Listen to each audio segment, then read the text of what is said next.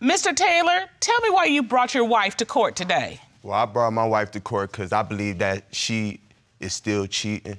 And if you find out, in fact, that she is cheating, you're not going back. You're done. No, I'm done. I can't do it no more. Like she, she have done this in the past. This is a repeating, repeating, a repeating thing. Like I put the password in the, in the, into the phone, boom. I, I, I, see that somebody inboxed her from social media a, a, a video, a tape of her.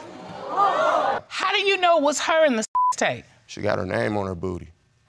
Oh. You mean like a tattoo? Yeah. Who was in the tape with her? Was it this guy, Josh? Yes, Your Honor. After you found the tape, you all found a way to make your relationship work. Is that yeah, right? I forgave her. So once you forgive someone for something in the past and move on, you move on, right?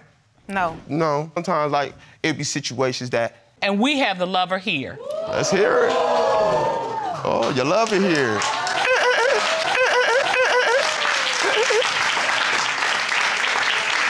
Would you state your name, please, for the court? Josh Charles. Were you the man in that tape? Yes, I was the man in that tape. Hey, I already knew that. Yeah. What is the nature of your relationship with Miss Jackson? Oh, that's my girlfriend right there. That's me right there. What? That's me. That's your girlfriend. Yeah. What? He's been going since June 14th. That's me right there. Yeah.